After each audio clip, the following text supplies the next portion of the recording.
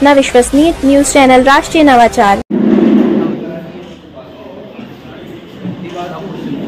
सरकार ये सब अनुभव कार्य है, हमारे बड़े नेताओं को हमको सुनना है, और मेरा भाइयों आपसे आग्रह है कि अभी तक हमने कुछ काम नहीं भी किया हो, वो सारा अभी भाइयों ने नमो भी डाउनलोड नहीं किया है तो मेरा हम सभी से आग्रह है कि हम अच्छे जिम्मेदार पदाधिकारी हैं, नमो डाउनलोड करें, और निश्चित ही हमारे मंडल की हम राम सोनी जी ने आपके बीच रख दिया है। मैं भी अभी आठ दिनों से रीवा संभाग के प्रवास पे था पूरे रीवा संभाग में आठ दिन से था। मेरा आपसे आग्रह है कि हम भारतीय जनता पार्टी के कैसे कार्यकर्ता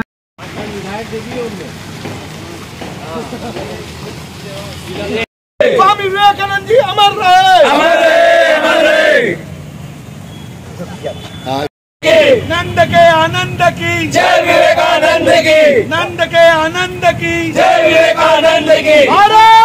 माता की। जय। वंदे। मातरम। वंदे। मातरम। नंद के आनंद की। जय विवेकानंद की। नंद के आनंद की। जय विवेकानंद की। स्वामी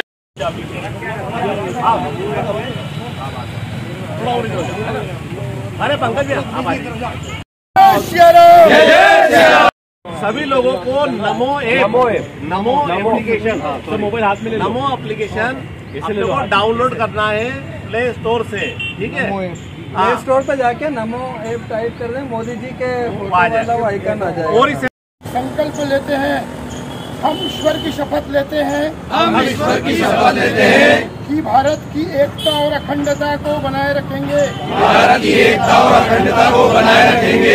और संकल्प लेते हैं और संकल्प लेते हैं कि हम अपने राष्ट्र के अनुशासित तथा जिम्मेदार नागरिक बनेंगे। हम अपने राष्ट्र के अनुशासित और जिम्मेदार नागरिक बनेंगे। और हम वचन देते हैं और हम वचन देते हैं निस्वार्थ भाव से निस्वार्थ भाव से सामुदायिक सेवा करेंगे। सामुदायिक सेवा करेंगे। और साथियों के प्रति और साथियों के प्रति लगाव रखेंगे। लगाव रखेंगे। उठो उठो जागो तब तक मत रुको।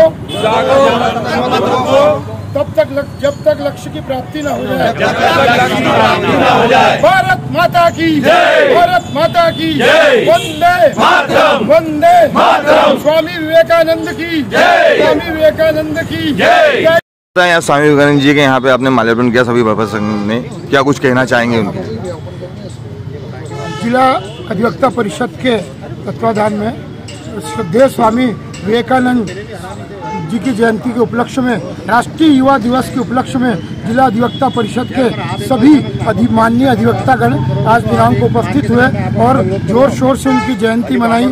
और जयंती मनाने को उनका आशीर्वाद प्राप्त किया और उनकी जो देशभक्ति थी देश के प्रति उन्होंने जो कार्य किया उसको ओतप्रोत होते हुए उनके विचारों से ओतप्रोत होते हुए सभी अभिव्यक्ता बंधुओं ने एक संकल्प लिया और देश को आगे बढ़ाने की कसम खाई।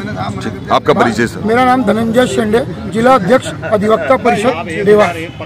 भैया स्वामी विवेकानंद जी के माल्यार्पण किया और सभी विवेकानंद जी 12 जनवरी को आज एक जयंती के उपलक्ष्य में संस्था युवा देवास और भारतीय जनता पार्टी जिला देवास की ओर से विवेकानंद जी की मूर्ति पर माल्यार्पण किया गया। निश्चित रूप से विवेकानंद जी हमारे युवाओं के आदर्श, जिन्होंने कहा था कि जब तक प्रयास करते रहो, जब तक लक्ष्य की प्राप्ति न हो, निरंतर उस लक्ष्य को प्राप्त करने के लिए पूरा समर्पण करते रहो। ऐसा उपदेश देने वाले विवेकानंद जी की आज जन्म जयंती पर मैं देवास ज़िले के समस्त युवा साथियों को हार्दिक हार्दिक शुभकामनाएँ देता हूँ। यहाँ कार्यालय में युवा मोर्चा कार्यकर्ताओं की बैठक के लिए आप भी आए थे। आज यहाँ पे प्रभारी जी आए क्या कहना चाहेंगे? आज हम सबके बीच में प्रदेश से मंत्री भारतीय जनता युवा मोर्चा के आदरणीय हरीश यादव जी, हम सबको मार्गदर्शन देने के लिए देवास पधारे थे। निश्चित रूप से चेरेवती चेरेवती का जो भारतीय जनता पार्टी का मंत्र है उसी को परिलक्षित करने के लिए भारतीय जनता पार्टी का एक एक पदाधिकारी काम कर रहा है। आगामी समय में लोकसभा के चुनाव में, लोकसभा के पूर्व किस प्रकार से युवा मोर्चा की भूमिका इस देवास ज़िले में रहने वाली थी, उससे मार्गदर्शन देने के लिए हम सबके बीच में बता रहे थे। पच्चीस जनवरी का एक बड़ा कार्यक्रम हमको मध्य प्रदेश भाजपा युवा मोर्चा के आह्वान पर मिला है। निश्चित रूप से मैं आपके माध्यम से भी विश्वास दिलाता हूँ कि एक भव्य रूप इस देवास ज़िले में दसों स्थान पर हम युवा मोर्चा के नौ मतदाताओं का सम्मेलन करके मध्य प्रदेश भारतीय जनता मोर्चा के हाथ मज़बूत करने का काम करें। आज और कार्यकर्ताओं से आपकी चर्चा भी हुई है। और क्या कहना चाहेंगे इसको लेकर? उज्जैन संभाग के प्रवास में प्रदेश मंत्री होने के नाते मेरा आज यहाँ देवास ज़िले में आना हुआ। भारतीय जनता युवा मोर्चा की एक बृहद बैठक यहाँ पर ज़िले के अध्यक्ष राम सोनी जी के नेतृत्व में आहूत थी और युवा मोर्चा के आने वाले सभी कार्यक्रमों के विषय में यहाँ विस्तार विस्तारित चर्चा हुई। और निश्चित ही भारतीय जनता युवा मोर्चा के कार्यकर्ता 2024 के चुनाव में जाने वाला है। तो इसके निमित्त यहाँ सारे विषयों पर चर्चा हुई और हम सब चाहते हैं कि देश में 2024 के लोकसभा में पुनः देश के यशस्वी प्रधानमंत्री नरेंद्र मोदी जी देश के तीसरी बार पुनः प्रधानमंत्री बने। एक राष्ट्रवादी सरकार देश के अंदर पुनः स्थापित हो।